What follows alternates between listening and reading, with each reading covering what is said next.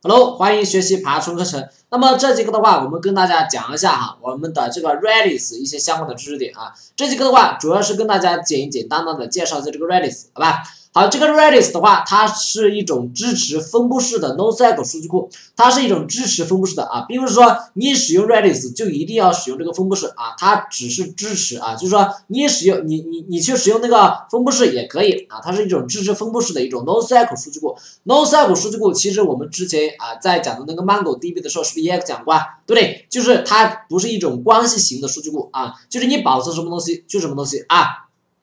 这样的话，它的数据哈都是保存在这个内存当中的，都是保存在这个内存当中的。所以的话，这个地方又要跟大家强调一点啊，就是如果以后你公司里面做这种分布式爬虫的话，那么这个 Redis 服务器的话啊，它必须这个内存要足够大啊，这个硬件肯定要跟上去啊，不然的话内存太小了，这个数据就存不住不下了，对不对？好啊，那么同时哈，这个 Redis 它可以定时的把这个数据存，把这个数据同步到这个磁盘当中啊。这个 Redis 的话，虽然它啊它的所有数据还是保存在这个内存当中，但是的话，你可以给它一个这样的同步机制，比如说啊多少秒之内我就同步一次啊，这样的话就可以保证这个数据丢失，对不对？就可以保证这个数据丢失啊。即啊可以将数据持进行持续化哈。呃，这个的话，Memory Cache 哈，是我们之前啊，就是 Memory Cache 这个东西的话，也是网站加速的一个这种东西，好吧？这个东西不是我们啊爬虫课程里面需要呃学到的一个东西，好吧？这个的话是做 Web 开发里面可能需要用到的一个比较多的啊。然后的话，下面的话再给大家指定一个这样的参考文档，对不对？大家的话感兴趣可以去看一下啊。好，那么下面的话就是这个 Redis 它的一个这样的使用场景啊，这个的话只是对大家进行一个这样的扩展啊。如果你是呃对那个只是单纯的做爬虫的话啊，其实这些东西的话，呃知道和不知道啊意义不是很大啊。那么如果啊就是你想做一个比较啊呃懂得比较多的人啊，那么的话这一点也可以听我讲一下，好吧？听我讲一下啊。好，Redis 可以在哪些场景下面用的比较多呢？啊，这个使用场景啊，一般的话都是在这个服务器上面，就是我们啊外部后台。或者是一些这样的服务器的后台啊，呃，登录绘画存储啊，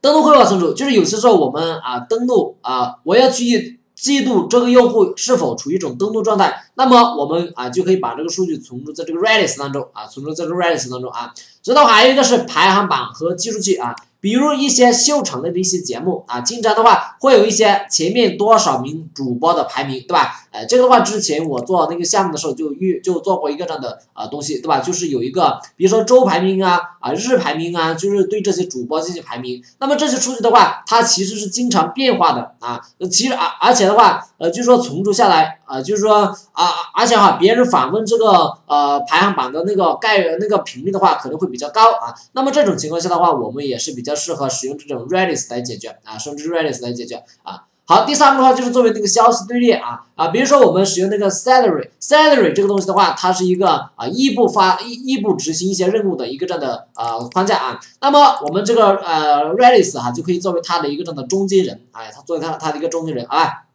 好。然后的话，还是记录当前的在线人数啊，还是拿我们之前那个啊秀场类的那个哎呀那个东西来讲，对吧？啊，但是的话，我们又有一个需求就是啊，记录当前现在目前啊，总共有多少人是同时在线。那么这个东西的话，也是满足刚刚我说的那几个条件啊。这个数据是不是经常会变化吧？这是第一点。第二点的话，这个数据你存储下来，如果存储在数据库当中，是不是没有任何意义啊？对不对？因为它随时随地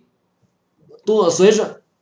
随时的话都在变化，对不对？你存储在数据库当中的话肯定是不行的。那么这时的话，我们就可以保存在这个 Redis 当中啊，保存在这个 Redis 当中啊。这的话还还可以做一些常用的缓存啊，比如说我们啊这个网站它的那个访问量特别大啊，那么一般用户访问那个首页的概率是比较多的。那么访问首页的概率的话啊，比如说今日头条或是啊不是今日头条啊，比如说或者是呃某个新闻网站，那么其实它可以把前面啊一十篇或者前面五十篇文章，它可以直接存储在这个 Redis 当中。那么用户在访问这个首页的时候，他可能只会看到前面十篇文章，那么这前面十篇文章我就可以直接从这个 Redis Redis 当中去取，从这个 Redis 当中去取，意味着从内存当中去取，从内存当中去取，肯定会比从这个数据库当中去取，那速度会更加快一点，对不对？这样的话啊，就可以加速我们这个网站的一个访问啊，加速这个网站的访问，好吧？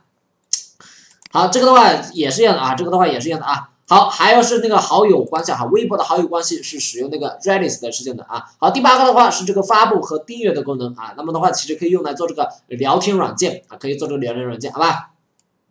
好，接下来这个地方是啊 Redis 和 Memory Cache 的一个比较啊，那么这个地方比较就不用比较了啊，你只要看一下 Redis 它的一些这样的特性啊，一些这样的特性啊。好，第一个的话啊，它是 Redis 这个内存磁盘同步的一个人的数据库啊。Redis 这个数据它虽然是存储在这个内存当中，但是它啊也可以同步到这个磁盘当中的啊。好，然后的话类啊数据类型的话，呃，我们这个 Redis 啊在存储的时候是不需要定义的啊。好，虚拟内存的话，我们这个 Redis 是支持这个虚拟内存的啊。虚拟内存是什么呢？就是如果你的这个内存满了，它会去调用这个硬盘啊，它会调用这个硬盘把它给虚拟化成一个内存啊。这样的话就是说啊内存不足的时候也可以啊实现啊，也可以啊也也也可以来进行补充啊。啊，过期策略，Redis 的话也是支持这种过期策略，就是说你可以指定一个数据存储多久之后它进行过期啊。好，这个的话是啊数据存储安全啊，可以将这个数据同步到这个文件当中啊。然后的话会再要恢复啊，Redis 的话是可以可以什么呢？可以从这个 dump 点 db 这个文件当中把它给进行恢复，就是比如说你的服务器啊发生故障了啊，突然关机了，那么你再次启动起来的时候，你可以从这个文件当中，从这个文件当中把这些数据再把它给恢复到内存当中啊，这样的话这个网站访问也不会受到什么大的影响啊。好，然后的话分布式啊，我们这个 Redis 的话是支持的，对不对？好，订阅与发布，我们这个 Redis 也是支持的，好吧？啊，那么这个 Redis 的话，它是支持一种这样的分布式哈，就是多台机器之间可以共享这个数据啊，可以共享这个数据，好吧？好，那么我们的这个 Redis 介绍就介绍到这个地方，下节课我们再跟大家讲一下 Redis 在乌班图章当中以及在这个 Windows 下面的那个的那个安装，好吧？OK 啊，那么这样的话，我们的这节课程就讲到这个地方，感谢大家。